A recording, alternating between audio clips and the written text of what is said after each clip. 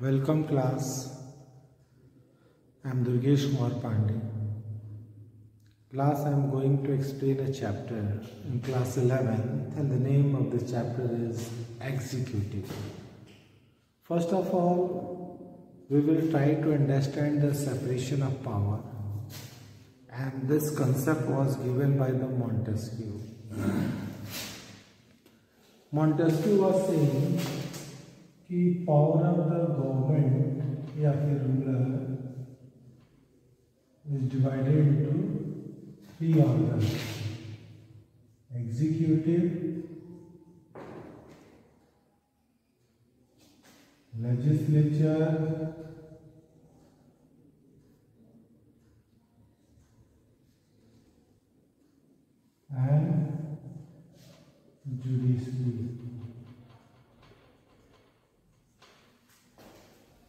the government is divided into three arms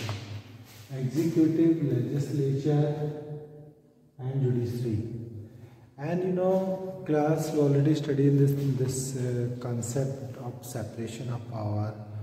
which was given by the Montesquieu in the class ninth. But class, you know, in the 18th century, the rulers were very authoritarian. they were unaccountable to the people. They lived a luxurious life like in the France, Louis XVI. And the Montesquieu was given this uh, idea. He was saying कि जो ruler है government है उसके power को three organ में divide कर दें तो जब ruler के पास power नहीं होगी तो ही वो जनता के ऊपर जो है अत्याचार नहीं कर पाएगा एंड रूलर uh, के पावर को थ्री ऑर्गन में डिवाइड करके इनको अलग अलग काम दे दिया जाए लाइक लेजिस्लेचर uh, का काम रहेगा मेकिंग लॉ और जुडिशरी का क्या काम रहेगा uh, और एग्जीक्यूटिव का क्या काम रहेगा जो जैसे लेजिस्लेचर यानी parliament is the law making body country के लिए लॉ और पॉलिसी बनाना लेजिस्लेचर का काम होगा और उस लॉ और पॉलिसी को एग्जीक्यूट करने का काम एग्जीक्यूटिव करेगी और जो भी वर्क है जो भी लॉ कॉन्स्टिट्यूशन के अकॉर्डिंग बनाए कि नहीं वो कौन इंश्योर करेगा जुडिशरी करेगी ठीक है तो गवर्नमेंट के थ्री ऑर्गन बनाए जाए तीनों को अलग अलग काम दे दिया जाए और जो रूलर की पावर है उससे ले ली जाए इससे क्या होगा जो जो नागरिकों की जो स्वतंत्रता होगी लोगों की फ्रीडम होगी उसको प्रोटेक्शन मिलेगा क्लास क्लास तो इस तरह से अगर जो रूलर है उसकी पावर ले ली जाए तो जनता पे के ऊपर अत्याचार नहीं कर पाएगा जनता का एक्सपर्टेशन नहीं कर पाएगा तो जो ये प्रिंसिपल है सेपरेशन ऑफ पावर मॉन्टेस्क्यू का इसको इम्प्लीमेंट किया गया और इस तरह से जो पीपल्स हैं उनकी फ्रीडम प्रोटेक्ट होती है एंड uh, जो अमेरिका के कॉन्स्टिट्यूशन बनाने वाले थे वो मॉन्टेस्क्यू के इस प्रिंसिपल से बहुत ज़्यादा प्रभावित थे दैट इज़ वाई जो अमेरिका का जो कॉन्स्टिट्यूशन बना उसने इस मॉडल को हूबहू एडॉप्ट किया और वहाँ पर गवर्नमेंट के थ्री ऑर्गन हैं तीनों इंडिविजुअली uh, इंडिपेंडेंट हैं और कोई एक दूसरे के काम में इंटरफेयर नहीं करता है और इस मॉडल को ट्रूली अमेरिका यूएसए ने फॉलो किया तो तब से क्लास इस मॉडल को फिर दुनिया के तमाम कंट्रीज़ ने ब्रिटेन इंडिया स्विट्ज़रलैंड चाइना बहुत सारे कंट्रीज़ ने इसको अडॉप्ट किया फ्रांस आपको हर कंट्रीज़ में ये मॉडल आपको मिल जाए तो क्लास जो आपका जो सेलेबस है क्लास एलेवेंथ तो उसमें हमें यही पाना है कि ये तीनों ऑर्गन को आप लोग थ्री ऑर्गन्स को अलग अलग पढ़ना है क्लास तो बट क्लास मैं आपको ये भी ये भी बता दूं कि there is a relation of check and balance system होता है लाइक like, जो लेजिस्लेचर यानी पार्लियामेंट जो लॉ बनाएगी वो लॉ अकॉर्डिंग टू कॉन्स्टिट्यूशन है कि नहीं कौन चेक करेगा हमारी जुडिशरी चेक करेगी अगर मान लो पार्लियामेंट ने कोई ऐसा लॉ बनाया जो सिटीजन्स के फंडामेंटल राइट्स का वायलेशन है तो ऐसे लॉ को कौन इनवैलिड अनाउंस करेगा जुडिशरी ठीक है तो इस तरह से लेजिस्लेचर को जुडिशरी बैलेंस करती है एंड सपोज दैट मान लो एग्जीक्यूटिव जब काम करेगी तो कैसे काम करेगी वो उस लॉ और उस पॉलिसी के अकॉर्डिंग काम करेगी जो लेजिस्लेचर ने बनाया है ठीक है तो इस तरह से एग्जीक्यूटिव इनडायरेक्टली लेजिस्लेचर के थ्रू गाइडेड है और जो एग्जीक्यूटिव के मेंबर होते हैं लेजिस्लेचर के भी मेंबर होते हैं तो बहुत हद तक ये एक दूसरे से जुड़े हुए हैं एंड uh, जब जजेस के अपॉइंटमेंट की बात आती है सुप्रीम कोर्ट के जजेस के अपॉइंटमेंट की बात आती है तो यू you नो know, जो अपॉइंटमेंट जजेस के अपॉइंटमेंट का सिस्टम है कोलेजियन सिस्टम उसमें चार सीनियर जजेस की कोलेजियम होती है और वो जो रिकमेंडेशन देते हैं उसी के अकॉर्डिंग सुप्रीम कोर्ट का जज चीफ जस्टिस ऑफ इंडिया काम करता है और वो रिकमेंडेशन प्रेसिडेंट को देता है एंड यू नो कि प्रेसिडेंट हमेशा council of minister headed by prime minister उसकी सलाह से काम करता है तो इस तरह से जुडिशरी के अपॉइंटमेंट में हमारी एग्जीक्यूटिव का इन्वॉल्वमेंट है एग्जीक्यूटिव का यहाँ पे इन्वॉल्वमेंट आपको दिख रहा है क्लास एंड सपोज अगर जजेस को उनके पोस्ट से हटाना हो इम्पीचमेंट के प्रोसेस के थ्रू तो यहाँ पर एक प्रोसेस है कि अगर पार्लियामेंट में टू थर्ड वोट्स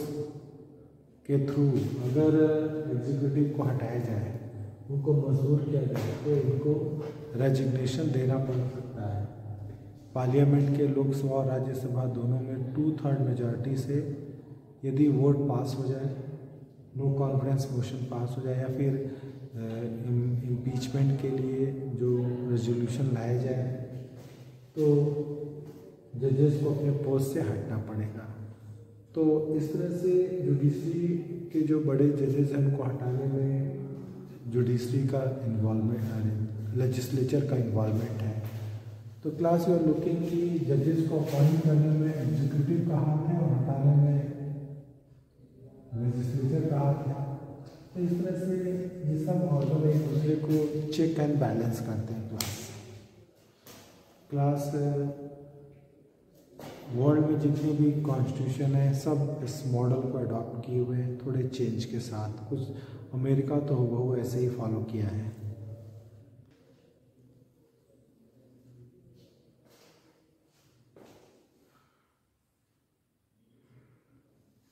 क्लास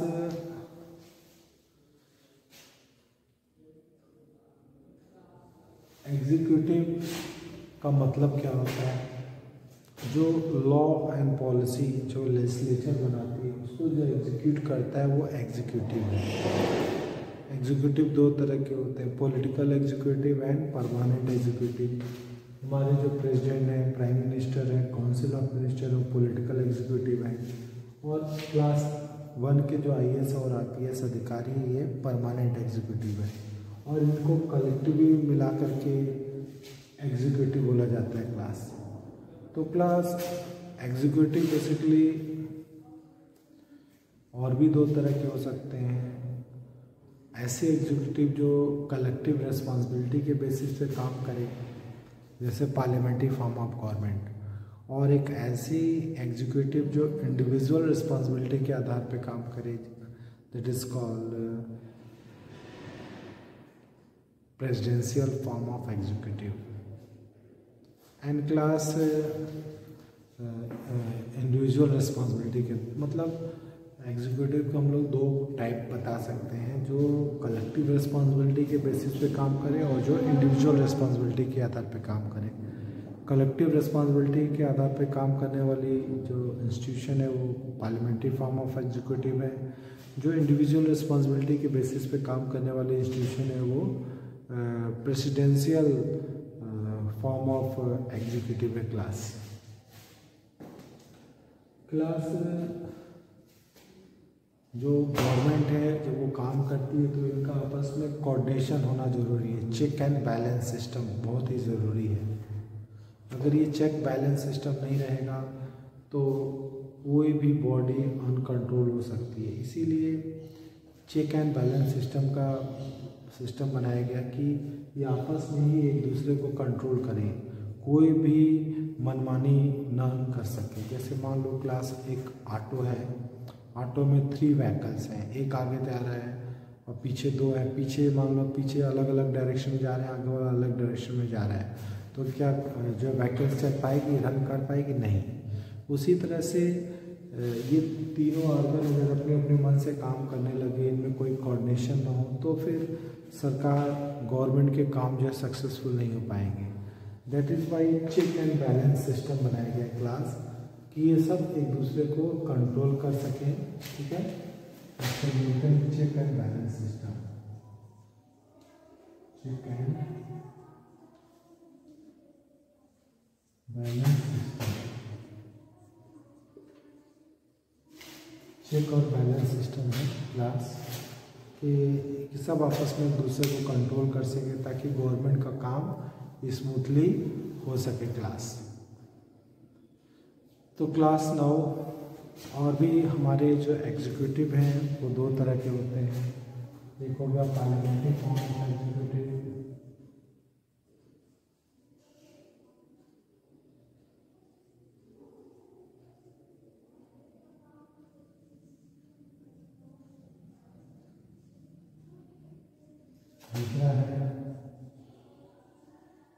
दो तरह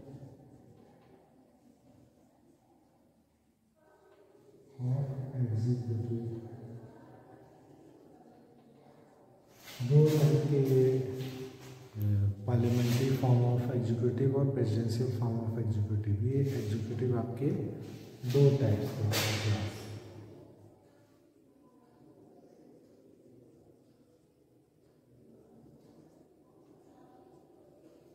वो पार्लियामेंट्री फॉर्म ऑफ एग्जीक्यूटिव उसकी क्या खास बात है like India UK Germany Japan Italy पुर्तगाल ये सब यहाँ पे पार्लियामेंट्री फॉर्म ऑफ गवर्नमेंट है पार्लियामेंट्री फॉर्म ऑफ गवर्नमेंट में क्या होता है क्लास की एग्जीक्यूटिव और लेजिस्लेचर दोनों एक दूसरे पर इंटर डिपेंडेंट होती है ठीक है और parliamentary form of government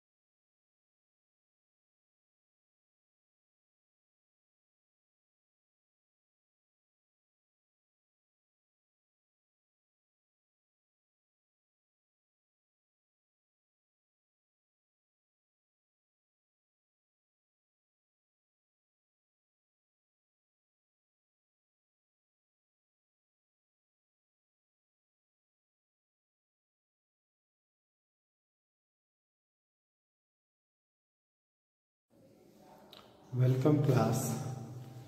देखो class parliamentary form of executive. Class we learned so many things during the colonial period. That is why we learn the parliamentary form of government in India after the independence, because देखो class during the government of India thirty 1935 और 1930 1935 and 1919 britishers were already introduce the parliamentary form of government in our country class और जो हमारे constitution makers थे वो चाहते थे कि इंडिया में एक ऐसा एग्जीक्यूटिव हो जो स्ट्रॉन्ग भी हो और पब्लिक के प्रति रेस्पॉन्सिबल भी हो दैट इज़ वाई हमारे इंडिया ने पार्लियामेंट्री फॉर्म ऑफ गवर्नमेंट को अडॉप्ट किया क्योंकि class parliamentary form of government में ही ऐसा होता है कि एग्जीक्यूटिव जो होती है वो पीपल्स के प्रति रिस्पॉन्सिबल होती है और उसके साथ साथ एग्जीक्यूटिव एक स्ट्रॉन्ग बॉडी भी होती है तो दैट इज़ वाई हमारे कॉन्स्टिट्यूशन मेकर एक ऐसा एग्जीक्यूटिव चाहते थे जो जनता के प्रति जवाबदेह हो That is why the maker of Indian constitution adopted the parliamentary form of executive in India. और हमारे जैसे अमेरिका में क्या होता है अमेरिका में प्रेजिडेंशियल फॉर्म ऑफ गवर्नमेंट है प्रेजिडेंशियल फॉर्म ऑफ गवर्नमेंट में एग्जीक्यूटिव लेजिस्लेचर के प्रति रिस्पॉन्सिबल नहीं होती है ठीक है दैट इज़ वाई हम इंडिया में ऐसा एग्जीक्यूटिव नहीं चाहते थे जो लेजिस्लेचर के प्रति रिस्पॉन्सिबल ना हो क्योंकि अगर मान लो प्रेसिडेंट की पोस्ट पे एक ऐसा आदमी बन बैठ गया जो अपने पावर का मिसयूज़ करने लगा तो उसे कोई रोक नहीं पाएगा तो या फिर उसके उसकी पर्सनालिटी है वो ऐसी हो जिससे लोगों को नुकसान हो तो दैट इज़ वाई जो हमारे कॉन्स्टिट्यूशन मेकर थे उन्होंने जब कॉन्स्टिट्यूशन बना हमारा तो उसमें प्रेसिडेंशियल फॉर्म ऑफ गवर्नमेंट को अडॉप्ट नहीं किया उन्होंने पार्लियामेंट्री फॉर्म ऑफ गवर्नमेंट को अडॉप्ट किया क्लास देखो क्लास जो डेमोक्रेसी होती है उसमें president who is the formal head of the state and the prime minister and the council of minister which run the government at the national level ठीक है ये पार्लियामेंट्री फॉर्म ऑफ गवर्नमेंट में ऐसा होता है कि हेड ऑफ द स्टेट जो है प्रेसिडेंट होता है जो कि नॉमिनल होता है और council of minister headed by prime minister जो होता है रियल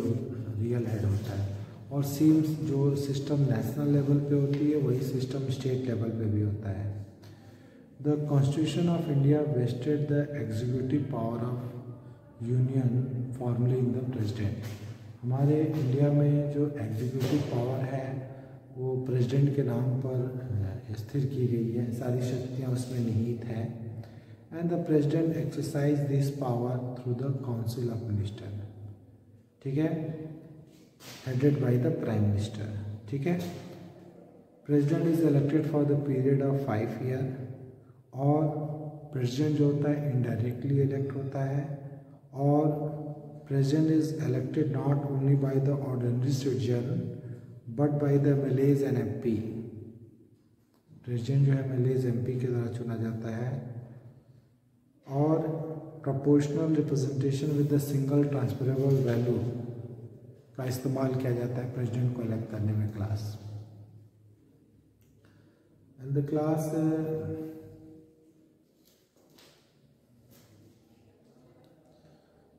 दो आर्टिकल 74 का वन है class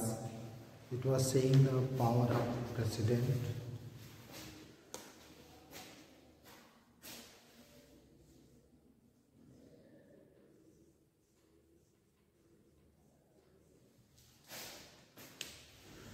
There shall be a council of minister with the prime minister at the head. Article 74 का वन क्या कहता है कि there shall be a council of minister with the prime minister at the head एक council of minister होगी जिसका head prime minister होगा to aid the advice जो कि सहायता और सलाह देगा प्रेसिडेंट को और वह president who shall in exercise of his function act according with the such advice और जो प्रेसिडेंट होगा राष्ट्रपति होगा वो उस सलाह के हिसाब से ही काम करेगा the president who shall in the exercise of his function act in accordance with such advice और जैसा एडवाइस उसको मिलेगा उसी एडवाइस के अकॉर्डिंग प्रेजिडेंट काम करेगा क्लास फिर देन अगेन सही कि provided that the president may required the council of minister to reconsider such advice और प्रेसिडेंट को जो काउंसिल ऑफ मिनिस्टर्स है provided the president may required the council of minister to reconsider अगर मान लो president जो होता है काउंसिल ऑफ मिनिस्टर के किसी जो एडवाइस से एग्री नहीं रखता है तो प्रेसिडेंट जो है उसको रिकन्सिडर करने के लिए काउंसिल ऑफ मिनिस्टर के पास भेज सकता है and the president are according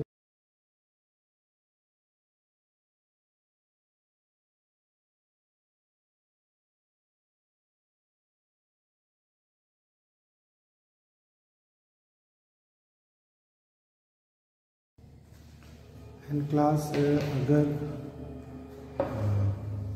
council of minister re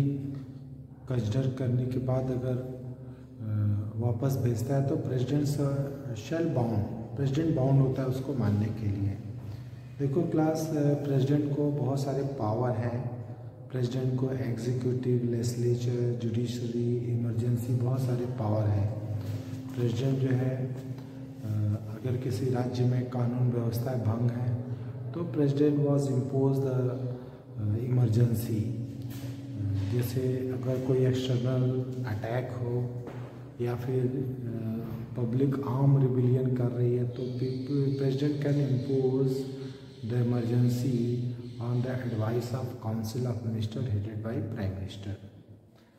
और प्रेसिडेंट के पास ये भी पावर है कि आर्टिकल 356 किसी राज्य जैसे किसी राज्य में कानून व्यवस्था भंग हो तो आर्टिकल 356 का यूज़ करके प्रेसिडेंट वहाँ राष्ट्रपति शासन लगा प्रेसिडेंशियल रूल लगा सकता है and in the case of internal disturbance जैसे कि पब्लिक आम रिविलियन कर रही है और कोई एक्सटर्नल अटैक है तो ऑन सच केसेस हमारी सरकार जो है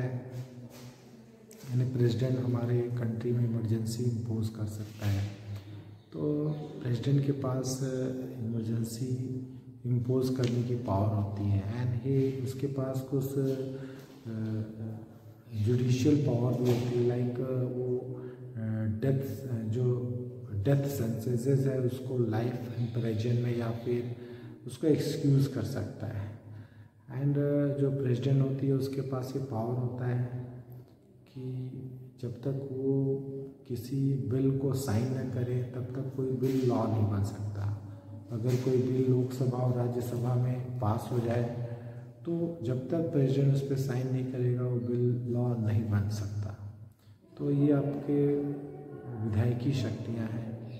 इसके अलावा राष्ट्रपति प्रेसिडेंट जो होता है संसद का जो जो पहला सत्र होता है उसको स्टार्ट कराता है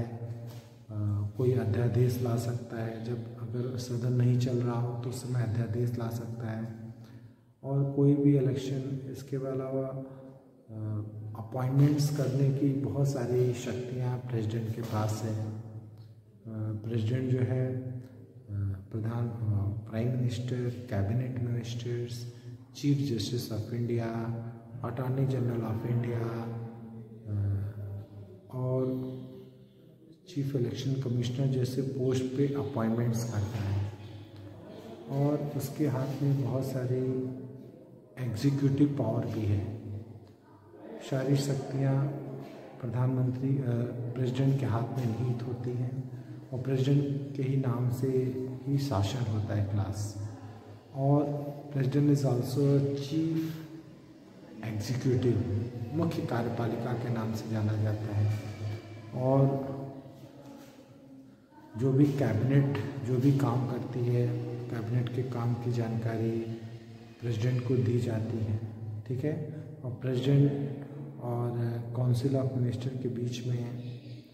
प्राइम मिनिस्टर लिंकेज होता है इसके अलावा प्रेसिडेंट के पास कुछ डिस्क्रिप्टरी और भी power like veto power use कर सकता है यानी अगर कोई बिल उसके पास आया है and president is not agree तो उसको वो अपने पास रख ले और उसको वापस रिटर्न ना करे हाँ, क्योंकि प्रेसिडेंट के पास जाने के बाद साइन करने के प्रेसिडेंट कब उसको रिटर्न करेगा कहीं भी कॉन्स्टिट्यूशन में ऐसा लिखा नहीं है तो यदि प्रेसिडेंट को लगता है कि बिल पे वो एग्री नहीं है तो साइन ना करे तो इसे वीटो पावर बोलते हैं जिसका यूज़ करके निगेटिव वीटो की तरह यूज़ होता है वो